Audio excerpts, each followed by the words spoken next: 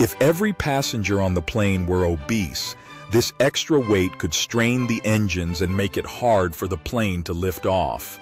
To prepare for this, the airline could choose random passengers to leave, thereby lightening the load.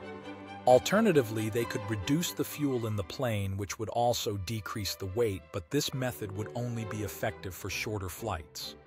If they simply took off with all the extra weight, the distribution of passengers could shift, impacting the plane's balance.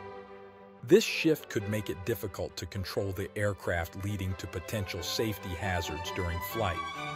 Consequently, airlines must carefully monitor passenger weights and balance to ensure safe takeoffs and flights. Failure to do so could result in compromised flight performance, putting everyone on board at risk.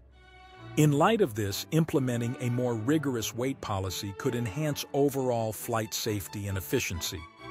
Moreover, educating passengers about the impact of weight on flight safety might encourage healthier choices when flying.